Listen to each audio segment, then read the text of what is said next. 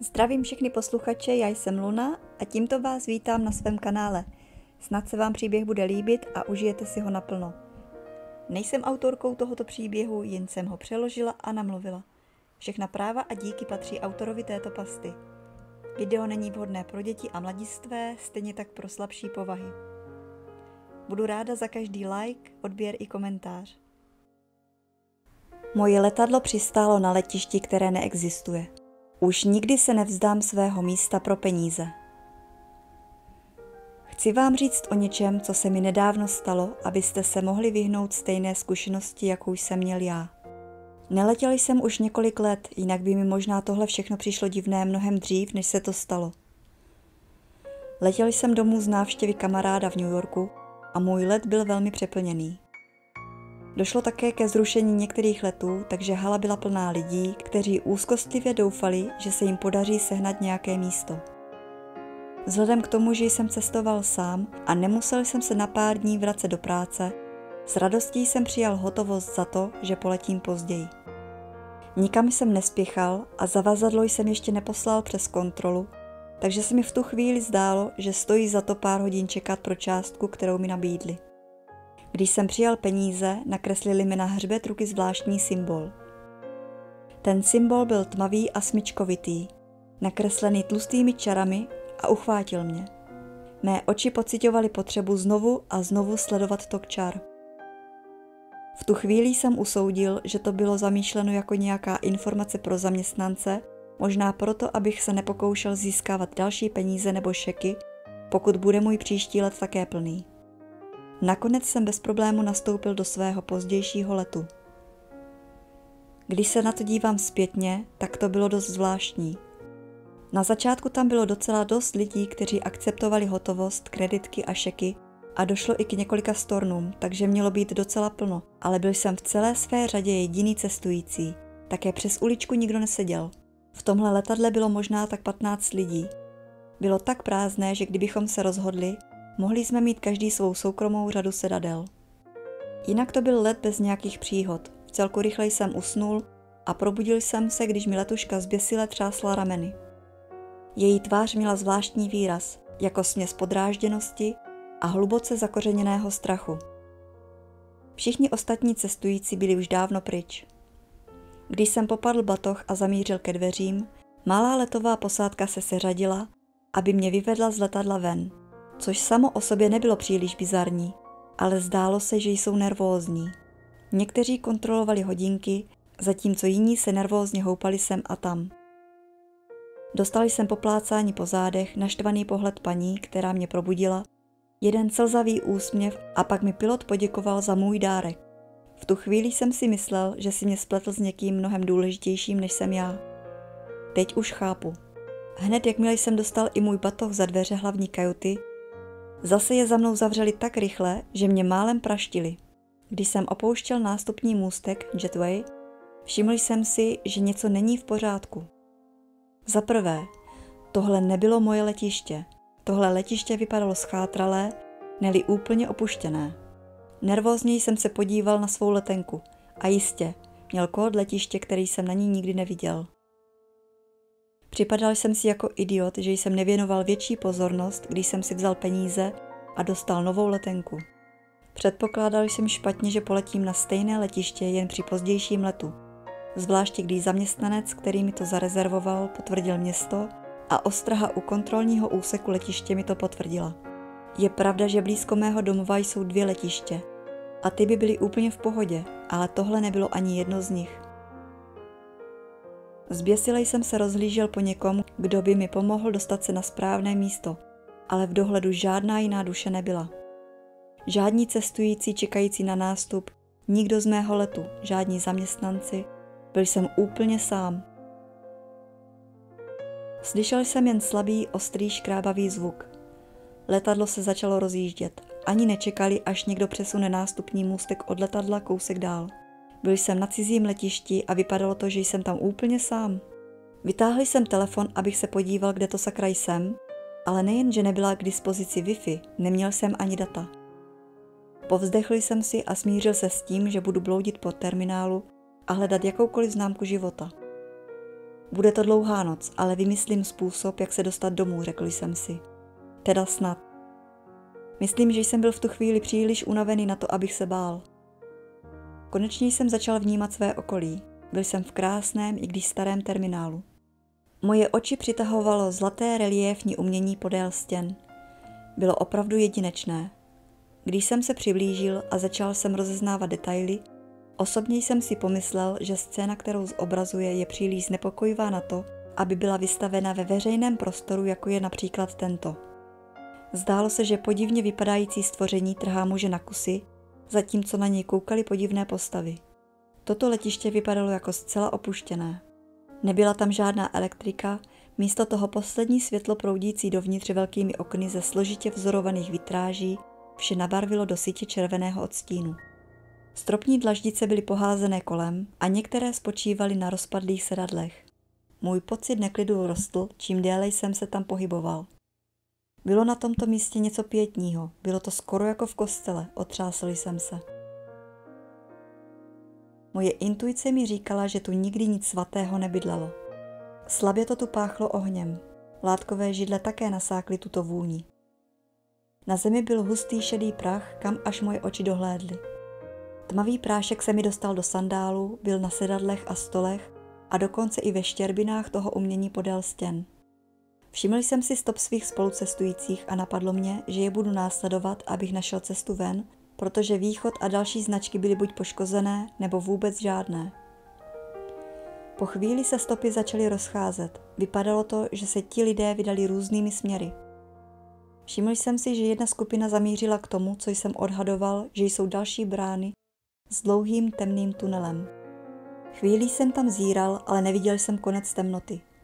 Vzhledem k tomu, že poslední světlo venku rychle mizelo a zdálo se, že tu není žádná elektrika, rozhodl jsem se, že tato cesta není pro mě. Sledoval jsem stopy ostatních skupin, které šly opačným směrem k otevřenější hale. Nakonec stopy začaly vyprávět svůj příběh, který mě zmátl a vyděsil. V tu chvíli se k této skupině připojila další sada stop, jako by se někdo nebo něco od nikud vynořilo a začalo chodit po čtyřech nebo se plazit vedle nich. Brzy poté se stopy cestujících staly nepravidelnými. Museli se rozběhnout různými směry. Sledoval jsem pár stop, ale nakonec každý pár lidských stop náhle skončil, jako by byly vytrhnuty přímo z existence. Bylo to tu tak tiché. Říkal jsem si, nikdo z ostatních cestujících se nedostal ven? Najednou jsem přímo nad sebou zaslechl pohyb, škrábavý zvuk, jako by se něco táhlo po stropě. Nebo se to plazilo? Ani jsem se nepodíval, jen jsem se rozběhl zpátky, odkud jsem přišel. Poté, co jsem se dostal pryč tam, co jsem považoval za bezpečnou vzdálenost, dovolil jsem si pohled zpět. Po stropě nad místem, kde jsem byl, se pohybovalo něco pružného a temného. Nakonec to zmizelo zpět v díře, kterou zanechala spadlá stropní deska. Byl jsem zpátky u vitráží a zlatého umění, kam jsem poprvé vstoupil. Soumrak nepřirozeně rychle zmizel a v narůstající tmě jsem si všiml něčeho zvláštního na noční obloze. Nebylo to jako nebe, které jsem viděl z domova. Bylo příliš jasné, nebylo tam žádné světelné znečištění a viděl jsem víc hvězd, než jsem kdy předtím viděl. Jako by neexistovalo ani jediné světlo tady dole na zemi. Posilnil jsem se poháněn rostoucím pocitem neklidu a neochotně jsem se rozhodl, že zkusím projít tunelem. Když jsem se přiblížil a mé oči si zvykly na tmu, všiml jsem si něčeho zvláštního přede mnou. Nepodobalo se to ničemu, co jsem předtím kdy viděl, ale zdálo se, že je to nějaký druh živého tvora a držel jednoho z pasažérů mého letu. Vypadalo to hladce a bez vrásek, ale čím víc jsem zíral, tím méně se zdálo, že detaily dávají smysl. Končetiny a rysy toho tvora nebyly v souladu s tělem. Vířili a posouvali se a měli jen vágní náznak tvaru, ale kusy se nikdy plně nepropojily. Jediné, co jsem jasně viděl, byl stejný symbol, který jsem měl na ruce a vypadal jako vytesaný do toho, o čem jsem se domníval, že je torzem této věci. Při pohledu na to stvoření mě rozbolela hlava. Ani teď nedokážu úplně popsat to, co jsem viděl, jen útržky. Dlouhé tenké končetiny, které jakoby se vlévaly dovnitř a zase ven, tvář bez rysů s prohlubněmi tam, kde by měly být rysy obličeje, Jeho hlava mě nutila myslet na někoho, kdo se snaží nadechnout přes černý plastový sáček. Byl ohnutý tak nepřirozeným způsobem, že jsem si představoval, že v plné výšce je větší, než letiště dokáže pojmout. Cestující se v jeho sevření zmítal a vydával strašidelný zvuk, jako by se mu z plic vytahoval poslední dech, když se před mýma očima pomalu svrkl do prázdna. Tvor v odpověď na to zhluboka vzdychl, což jakoby naznačovalo spokojenost a já znovu ucítil ten štiplavý pálivý zápach. Muž se rozpadl na prach, kterým pak byla pokryta podlaha a brzy se s ní spojilo i to, co z něj zbylo. Stali se jedním a byli k nerozeznání. Myslel jsem na hustý popelavý prach, ve kterém jsem stál hluboko po kotníky a na to, jak jsem ho cítil v sandálech mezi prsty u nohou. Když věci začaly do sebe zapadat, udělalo se mi špatně a netoužil jsem po ničem jiném, než být doma v bezpečí a odhodit své sandály co nejdál ode mě. Bezděčně jsem zalapal po dechu, o dvě sekundy později jsem pochopil, že pokud mě to ještě nevidělo, právě jsem odhalil svou polohu. Začalo se to přibližovat a já jsem si pak ve chvíli panického jasu uvědomil, že vím o dveřích ven. Připouštím, že by to pravděpodobně byl pás z deseti stop na zem, ale zdálo se mi to mnohem přitažlivější, než sdílet osud toho muže, jehož skonu jsem byl právě svědkem. Rozběhl jsem se, prošoural se popelem zpátky k nástupnímu můstku a zavřel za sebou dveře. Byl to skoro víc zvyk než cokoliv jiného, protože jsem silně pochyboval, že by dveře byly schopny něco takového zadržet. Když jsem se dostal na konec můstku, i přes jasnou hlubokou noc, kterou jsem sledoval už z terminálu, jsem otvorem viděl travnaté pole osvětlené zapadajícím sluncem. Nebyla tam žádná přistávací dráha a ani žádná jiná vizuální značka, že jsem na letišti. Kam až moje oči dohlédly, byly tam jen křovinaté stromy a zažloutlá tráva spálená letním žárem. Vypadalo to jako doma. Snažil jsem se k němu dostat, ale nešlo to. Bylo to jako narazit do neviditelné zdi. Chvíli jsem přemýšlel a pak jsem zkusil druhou ruku. Uvědomil jsem si, že všechno kromě mé označené ruky může projít skrz. Rozetřel jsem to, ale bylo to nakresleno silnými černými čarami pomocí permanentního fixu. Samozřejmě. Drhl jsem to fakt dlouho, připadalo mi to jako věčnost a snažil jsem se nepředstavovat si to monstrum, které se vynořovalo ze dveří terminálu, pohybovalo se to, jako by to bylo tekuté a jeho masivní tělo blokovalo veškerý únik, když se sunulo dovnitř.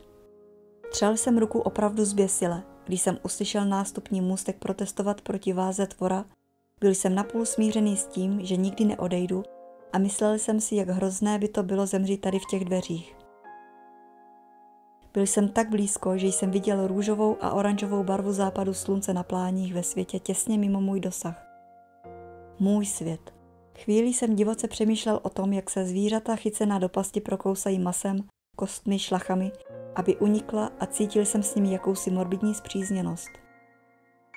Chvíli jsem o tom přemýšlel a uvědomil jsem si, že jsem směšný. Nepotřeboval jsem si ukousnout ruku, jen část. Když se mezi námi zmenšila vzdálenost, začal jsem dělat pokroky a jeho blízkost mě povzbudila k rychlejšímu pohybu a překonání bolesti. K mému nesmírnému překvapení, jakmile se ke mně téměř dostal, zastavil se. Nepronásledoval mě dál, ani se nepohnul, aby mě popadl. Jen mě to sledovalo. Vyzařoval z toho jakýsi druh inteligence. Zdálo se, že mě to studuje. Čeká. Nakonec byl symbol pryč. Odplivil jsem si na stranu a sáhl jsem svou bolavou rukou skrz. K mé nesmírné úlevě to fungovalo.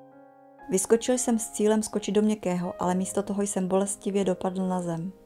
Tam, kde jsem teď byl, nebyl žádný nástupní most ani letiště. Ležel jsem na zádech v poli a zíral na širé nebe. Poslední věc, kterou jsem z toho tvora viděl, bylo několik černých končetin podobných tekutině, plujících proti barevné obloze mého světa, protože se to muselo snažit natahovat se ke dveřím, kterými jsem proskočil. Nikdy se plně neobjevil, pravděpodobně svázaný na místě stejným způsobem, jakým jsem byl i já před malou chvilkou. Podařilo se mi dostat se domů, byl jsem vlastně jen několik mil od silnice.